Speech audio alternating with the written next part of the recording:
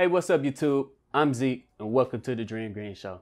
Today we're going to do a complete technical analysis over Apple, ticker symbol AAPL, for the month of May.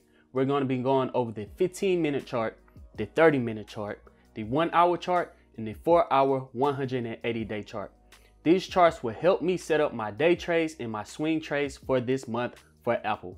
But enough talking, let's go ahead and dive into the platform that I use, Thinkorswim, and do the technical analysis of Apple.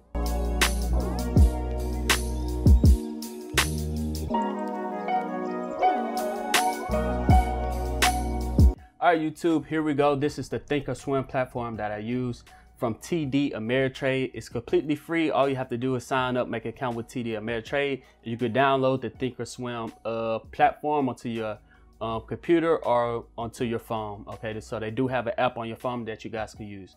But let's go ahead and get straight into the technical analysis. Let's go to the shorter time frame.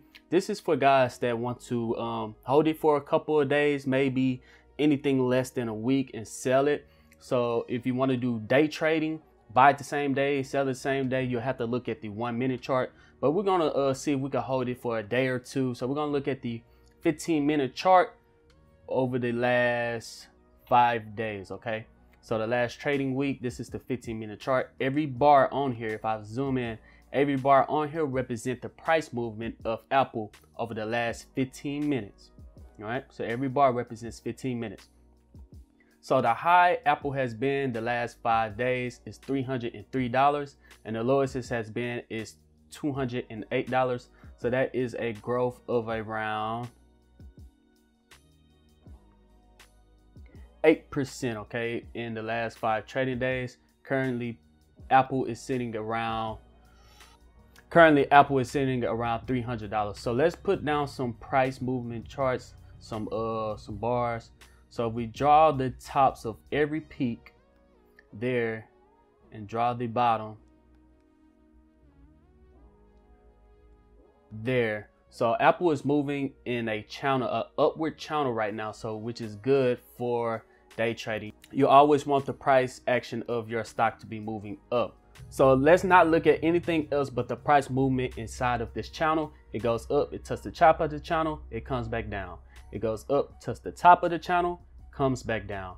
Went back up, touched the top of the channel, had a little correction over the weekend, and it's back up at the top of the channel. Could it move here? It could possibly move here. If it does move here, that might be a good time for a buy uh, to try to catch the price movement back to the top of the channel. Uh, it's been oversold here on the RSI and had a dramatic drop down. And then once again, it was oversold here, had a drop down oversold here. That's why I'm looking at the RSI. It's going to tell me that it's oversold. It had a little drop down and it was oversold once again here and had a little pullback at the beginning of the day and it ended up recovering to end at around $300. All right, so that is the 15 minute chart. Let's zoom out a little bit so we get a little bit more data. Okay, so if we extend this channel even more, bam, extend it even more. So this is the 30 minute chart, guys. This the Apple has been in an upward trade on this channel for over the last 10 days. Okay, so it's up at the top, at the bottom of the channel. Top, found a way back down. Top, found the way back down. Top, found the way back down. Now it's at the top. Will Apple fall back to the bottom of the channel? Possibly, it possibly it could fall back to the bottom of the channel. Okay, it's not overbought or oversold every time that it did fall to the bottom of the channel, it was overbought or oversold right here. It was bought or oversold. Uh, All right, so it was overbought right there, fell to the bottom. Overbought right there, fell to the bottom. Overbought right there, and fell to the bottom. So it was overbought right here, but the RSI is looking good that it might not reach the bottom of the channel. If it does reach the bottom of the channel, that might also be a good buy for you to hold on for a couple of days until it reaches the top. So one thing that I look at eh, is how long does it take for it to recover? So if we look right here, it took three days and two hours for to go from the bottom of the channel to the top. All right. We look right here, from the bottom to the channel to the top, it took one day and 12 hours to go from the bottom of the tunnel to the top. All right. And if we look right here, it took just half a day for it to go from the bottom to the top. right here from the bottom to the top, it took one day and eight hours. So if we're looking at the next time Apple is at the bottom of the channel, you could look to buy to hold for either a day or two in order for you to uh, know when is a good time to sell Apple stock. All right, so let's zoom out a just a little bit more to the one hour, 20 day chart. All right, so here we go. Price action has broke out a little bit. Uh, I think they announced, what did Apple announce? A, phone or something one of uh, earlier last month, and they had a, a spike in their sales. But let's take a look at the one hour, 20 minute chart. The low is right here, and the high. Okay, so we take a look. We we drew a bar at the low and a bar at the high. Okay. If we take a look at the one hour, 20 minute chart, uh, Apple is using the 180 day SMA line to as its resistance line. So when it came down from here, it bounced off and then it bounced off the uh, 180 day SMA line. And then it stayed true to that line. It, it did not want to fall be below that line. And then it ended up bouncing and recovering back up. So if Apple was to come back down to this green line, you could see it as a support line in that it might not fall below that line any further than it has. All right, so that might be another indicator for it to buy. And now let's zoom out to the four hour 180 day, the one I use to swing trade. Let's clear out this a little bit right quick. Clear drawing set. Yes. Okay, and there we go. This is the price action of Apple over the last 180 days. 180 days ago, price was at 220 bucks and it's all the way up to $328, okay?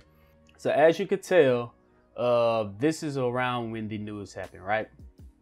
All right, so we're not getting much from this chart because of all the uncertainty in the news and from the beer virus. But what we can do is that when Apple is trading, when you look at the 180 day uh, EMA line, the SMA line, if you put a little arrow right there on the line, if you draw an arrow right down the line, it's pointing up, right? I mean, it's a good time to buy. Whenever this green line is pointing up, the 180 day support resistant line, the SMA line, whenever it's pointing up, that's the simple moving average line is pointing up, it is a good time to buy Apple. Right here, the line is pointing down, right? So it's not such a good time to buy Apple to swing trade, to hold for a couple of days, to hold for a couple of weeks, to hold for a month or two, right? It's not a good time. The green line is pointing down. Right here, it's still pointing sideways, but at, over the last couple of days, if we was to put an arrow right there on the green line, it's starting to point up again. So this might be a good indicator if Apple pull back just a little bit to buy in once you zoom in on those tighter time frames and you get in there and find a good price point to buy Apple at, and the green line on the 180 day simple moving average is pointing up, it might be a great time to uh, swing trade Apple now that it is the arrow is pointing in the right direction. It's pointing up and not pointing down. Once again, you want the 180 day simple moving average to be pointing up, not pointing down. And right now, over the next couple days, it's on the cuffs if not pointing sideways, not pointing down, but pointing up. So that is the 180 day swing trade for the Apple uh, technical analysis.